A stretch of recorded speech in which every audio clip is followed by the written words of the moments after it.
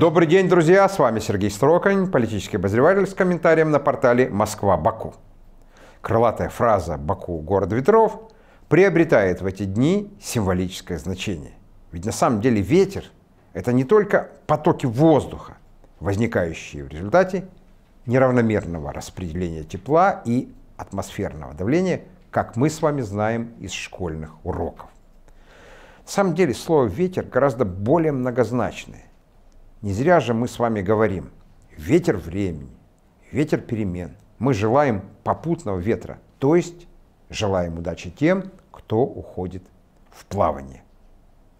События этой недели при всей их кажущейся разнонаправленности имеют один общий знаменатель, такой невидимый внутренний стержень. Они показывают, что портовый Баку – это не только город, обдуваемый ветрами с Каспия, но и одно из немногих мест на постсоветском пространстве, где ощутимы те самые ветры перемен, ветер времени, где происходит реальное движение, происходит развитие, не оставляющее места никакой стагнации. Ну, каждая страна, конечно, удивляет по-своему. Вот Армения, к примеру, удивила Россию возможностью своего участия в предстоящих военных учениях США в Европе, причем оставаясь членом АДКБ. Но в Азербайджане вот в это самое время, конечно, говорили совсем о другом. И вот на этой неделе в Баку побывал региональный президент компании British Petroleum Гэри Джонс, который вместе с президентом Ильхамом Алиевым принял участие в церемонии начала строительства первой в мире морской платформы BP, которая будет управляться дистанционно. В ходе церемонии произошла символическая отправка в море верхних модулей платформы Центральной Восточной Азери. Напомню, что проект Центральной Восточной Азери – это первое крупное инвестиционное решение партнеров Азери Чирак Гюнешли о долевом разделе добычи нефти до 2049 года. То есть долгосрочный проект стоимостью 6 миллиардов долларов. И он включает создание вот этой новой морской платформы и других установок ежедневной производственной мощностью до 100 тысяч баррелей нефти.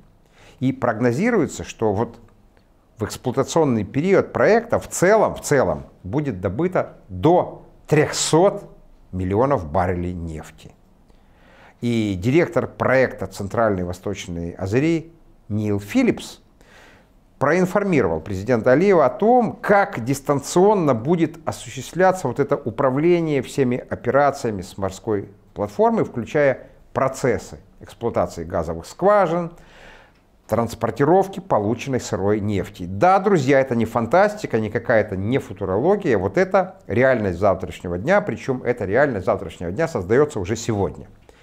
И начало строительства первой в мире дистанционной платформы BP совпало со встречей в Бухаресте министра иностранных дел и внешнеэкономических связей Венгрии Питера Сиярта с министром энергетики Румынии Вирджилом Даниэлом Папеску.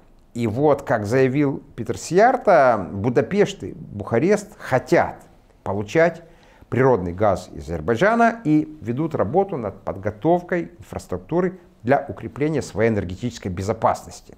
Ну, ранее, напомню, Венгрия, Румыния, Болгария и Словакия обратились к Еврокомиссии с просьбой выделить средства на развитие инфраструктуры для поставок азербайджанского газа в Европу. И вот теперь, теперь, когда заявка четырех европейских государств, делающих ставку на азербайджанский газ, получена, конечно, мяч находится уже на половине Брюсселя – Теперь руководство Евросоюза должно показать, готово ли оно на самом деле от общих вот этих разговоров о диверсификации поставок газа перейти уже к реальным шагам для ее осуществления. А вот еще в сентябре прошлого года, помнится, на встрече министров энергетики тюркских государств Питер Сиярта прогнозировал, что объем азербайджанского газа, поступающего в Европу, в ближайшие годы вырастет вдвое. И он, кстати, тогда назвал это самой реальной возможностью диверсификации европейского энергоснабжения. Что же касается непосредственно самой Венгрии, то она уже сегодня готова заключить долгосрочный контракт с Баку на поставку около 2 миллиардов кубометров газа в год. Однако развитие, конечно, происходит не только в нефтегазовом секторе, и в целом прирост ВВП Азербайджана, если вы посмотрите статистику, в 2023-2024 годах ожидается на уровне 3,5-4%. И вот на этом фоне международное рейтинговое агентство Fitch на этой неделе подтвердило рейтинг Азербайджана на уровне BB+, с позитивным прогнозом. И в заявлении Fitch, разъясняющем, отмечается, что поддержку рейтингу оказывает значительный положительный торговый баланс Азербайджана, самый низкий государственный долг в группе стран аналогов и, наконец, гибкость финансирования за счет крупных активов суверенного фонда благосостояния. При этом также обращает на себя внимание, что одним из сдерживающих факторов для увеличения рейтинга Азербайджана агентство Фич открытым текстом называет сохраняющийся риск конфликта с Арменией. Таким образом, Фич признает, что хотя отсутствие мирного договора с Ереваном не может остановить развитие страны, в случае достижения долгосрочного урегулирования на Южном Кавказе это развитие может быть на порядок более быстрым, способствуя дальнейшему улучшению рейтинга Азербайджана. И вот э, на этом фоне, друзья, мы на этой неделе получили еще одну возможность говорить о многовекторной политике Азербайджана, э, примером которой стал государственный визит президента Алиева в Таджикистан.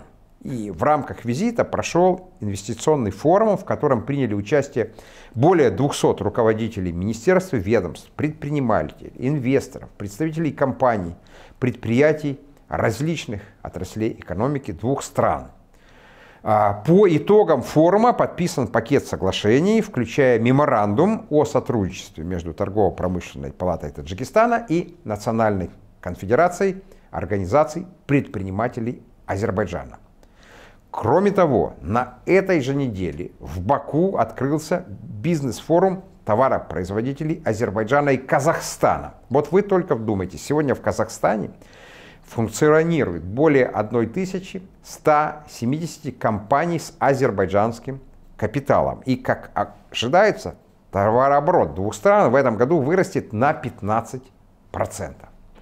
Ну и, наконец, на этой неделе Баку посетила российская делегация во главе советником президента Путиным Русланом Эдельгириевым, который встретился с министром экономики Азербайджана Микаэлом Джабаровым. А стороны обсудили вопросы диверсификации экономического партнерства и развития межрегиональной связи. И вот в ходе встречи Михаил Джабаров подчеркнул позитивную динамику развития отношений, отметил значимость интенсификации партнерства между деловыми кругами двух стран. И вообще, по его словам, вот благоприятная деловая и инвестиционная среда в Азербайджане открывает новые перспективы для развития регионального сотрудничества. Ну, я добавлю, что стороны также подчеркнули особую роль транспортных связей для увеличения двустороннего товарооборота и обратили внимание на значимость использования ресурсов транспортного маршрута север-юг. И вот свежий ветер, символ движения развития, это, как мы видим, что-то противоположное неподвижности и застоя. И вот это относится ведь не только к атмосферным явлениям, это относится к явлениям экономики и политики. Это относится к инвестиционному сотрудничеству. Идет ли речь о мире в целом или об отдельных государствах. Применительно к Азербайджану слово «ветер» ведь еще созвучно слову «вектор». Ведь оно напоминает о многовекторной политике страны, о ее развивающихся мирохозяйственных связях, направленных как на Запад, так и на Восток, и открытых всему миру. Открытых, друзья, для тех, кто готов не воевать, а торговать, кто готов не разрушать, а строить. Это был Сергей Строкань, политический обозреватель с комментарием на портале Москва-Баку. До новых встреч, друзья.